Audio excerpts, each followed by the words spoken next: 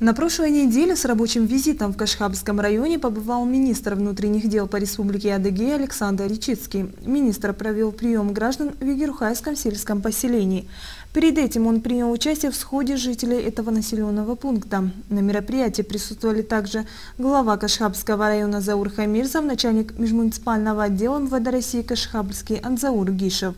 Министр обозначил наиболее острые проблемы, которые на сегодняшний день стоят перед руководством республиканского МВД и межрайонного отдела полиции. Я бы хотел э, в целом, пользуясь случаем, значит, э, поскольку, еще раз подчеркиваю, здесь э, актив, а женщины наиболее, так сказать, а, активная у нас социальная категория людей, которая доведет имеющиеся проблемы, надеюсь, и расскажет своим близким, родным, знакомым, друзьям, о том, что меня как министра внутренних дел, да и в целом власти республиканские беспокоят. Ну, э, первое, э, мы с вами на пороге двух серьезных мероприятий. Это 1 сентября и 18 э, сентября выборы. Все об этом знаете. Выборная кампания уже началась. Значит, я не призываю ни за кого голосовать. Это каждого право Э, так сказать, изъявить свое желание и определить того или иного кандидата. Я единственное хочу призвать всех, чтобы э, были на выборах, поскольку э, нас, как мы, мы не говорили, силовые, так сказать, структуры нас, безусловно, интересуют в целом отношение населения к той кампании, которая, собственно говоря, происходит безусловно, нужно побывать и отдать э, голос за того кандидата, который вас в большей степени заинтересовал и так далее. Что касается э, работы полиции и непосредственно пользуясь случаем, я хочу сказать, что, э, конечно, нас беспокоит близость антитеррористической активности, так сказать, наших друзей, наших коллег, ближайших субъектов Российской Федерации. Это и Кабардино-Балкария, это и Карачаево-Черкесия, и Дагестан в особенности, Ингушетия, Чеченская республика, там, где э, активные действия, в том числе боевые, не прекращаются. Конечно, здесь просьба такая, на любые э, малейшие подозрения, что кто-то приехал чужой, кто-то вызывает какое-то определенное опасение, не, э, ведут себя не э, подобающим образом, конечно, полиции нужно об этом знать. Значит, э, мы сегодня готовы и способны оперативно среагировать. Беспокоит нас и весьма серьезно безопасность дорожного движения. Несмотря на небольшую тенденцию уменьшения количества погибших граждан, значит, число, так сказать, аварий, в том числе с пострадавшими, подчеркиваю, не, не на большую Э, цифру это отличается по сравнению с прошлым годом, но тем не менее э, такие факты имеются.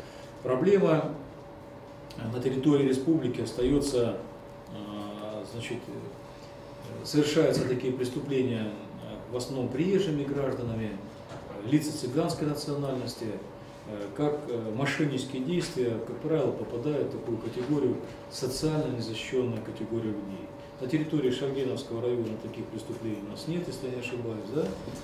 Значит, э, но тем не менее, в Геогинском районе последнее э, происшествие, значит, э, бабушка 28 -го года как-то прям просчитывают людей пожилых на улице, э, вступают с ними контакты, люди приходят домой, отдают последние деньги, и при том деньги как бы там не маленькие, 50 тысяч, 150 тысяч и так далее.